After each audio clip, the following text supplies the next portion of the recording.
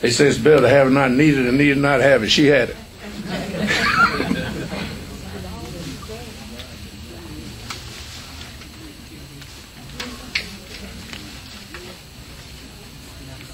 Imam Mohammed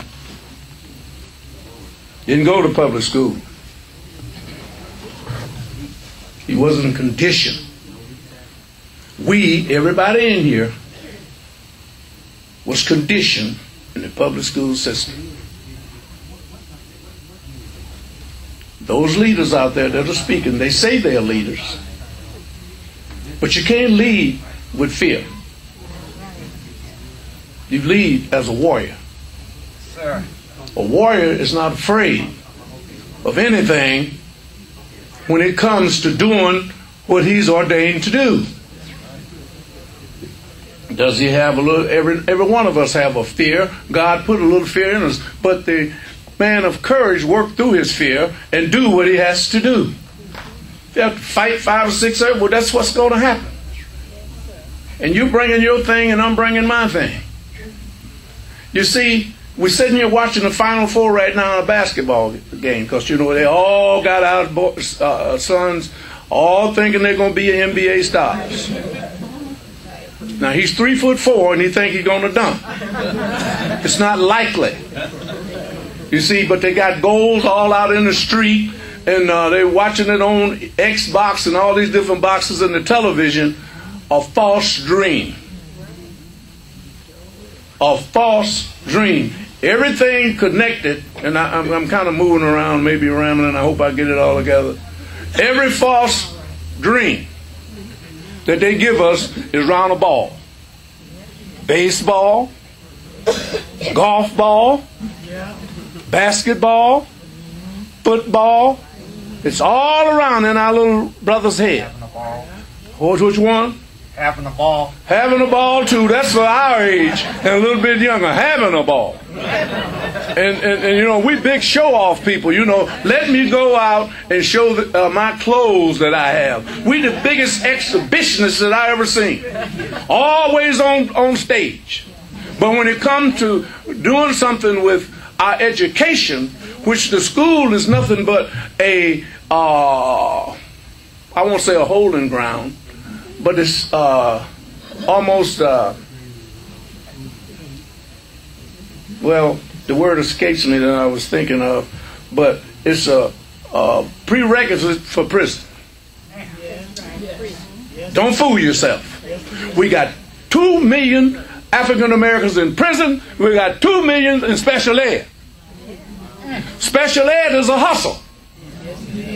Every time, if it's if, if, if, if it's nine thousand dollars a year to put a student in the, through the Chicago public system, I don't know what it is, but if it is, every time they put an African American male or anybody else into special ed, the school get another nine thousand dollars from Arne Duncan and President Obama, Title One. So you're not tracking that money. So instead of getting 9,000, you get 18. So what's the quickest way to get some money? Put one of our boys in special ed. It's a hustle. Our children are being used and nobody is aware. That's why whenever they call you to school telling you that your son got ADHD or any other uh, uh, uh, uh, uh problem, he don't sit still. He's running around. There are reasons why he's running around. Maybe because ain't no daddy at home. I don't know. It could be the fact that he's not challenged. And he wants to move because he's an African American uh, genius in disguise. When you got 91 to 93 percent of Caucasian females teaching in the public education system that knows nothing about your son or daughter. They used to keep uh, the suburban Caucasian female away from the regular class African American male. They had their reasons. Okay, now to for their purpose again, they're bringing them in. Now they can't qualify uh, because they're not hardly certified in the suburbs, so they come in and work in our school in an emergency certification. First thing you should do when they tell you your child has got a problem is you wants to tell the principal, okay, fine. I want to know if your teacher's certified. You have some questions for them, not giving your information. Have some questions for them. Are your teachers certified? Okay, they're, they're, they're saying, now here the teacher is making the decision that your child needs special ed. She's out of her lane. She know how to teach, maybe, but what does she know about special ed? Nothing. First year, maybe, the child uh, in kindergarten had a new teacher out of college, didn't know a front end from the back end. Next year, uh, uh, in the first grade, the teacher was out of school, uh, had uh, more than she, she was in school a lot of times, and they give a substitute. Okay. And the next year, he's kicked out because he's having a problem from first kindergarten, first grade, second grade. He starts sitting at home every day. So he's not learning at home. Okay? So these are a lot of things that's happening to our boys and girls, and we're unaware. So I bring it to you to be aware. Don't sign anything if you have any doubt. Now, there are some legitimate uh, special ed uh, uh, conditions. Autism, you cripple, uh, you have you blind, uh, there, you know you can't hear, uh, but there's no test. With any school psychologist or anyone else that can determine what's going on with your brain as far as learning. Now, if you find a test that can determine that, please let me know so I won't ever make that mistake again. As of today, there is no test. They, what they can test them with and say they have it, even if they don't have it, and they give them all type of psychotropic drugs that's out there on Wall Street. Pull those drugs off of Wall Street, Wall Street might fall. And they load it up on our children. Why did they do it?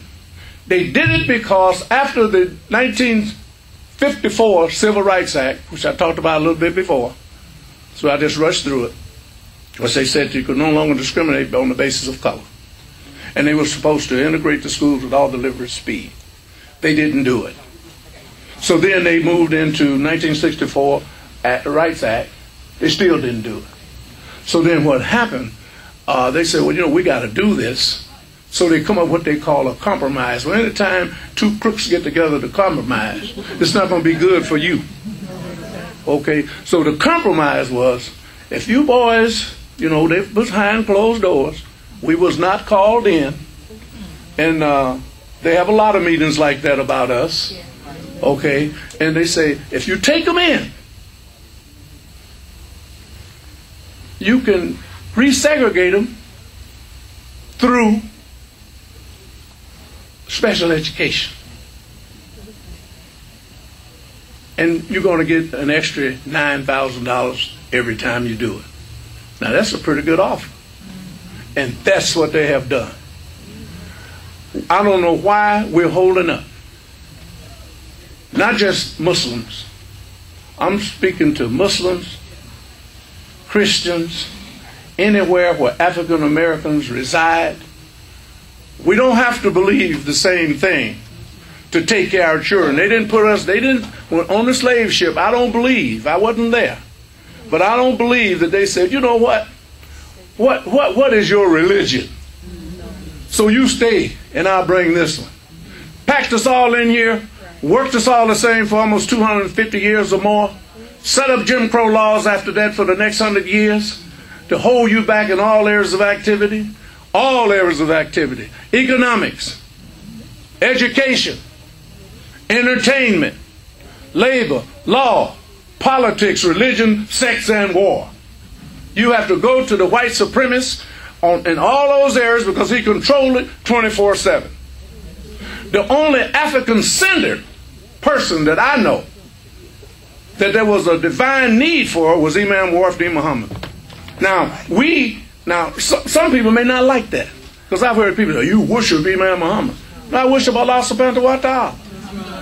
And I worship his, I don't worship his best example, Prophet Muhammad. I don't worship him.